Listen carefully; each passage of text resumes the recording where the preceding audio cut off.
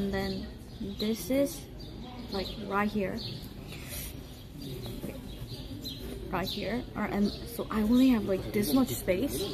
So I have a, I have I have very short like short waist.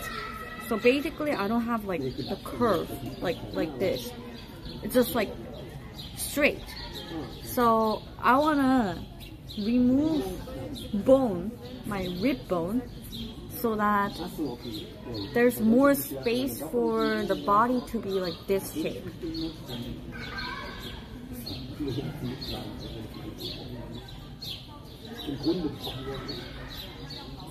There is a surgery for it. 그 갈비뼈 제거 수술. Paxman, thank you so much.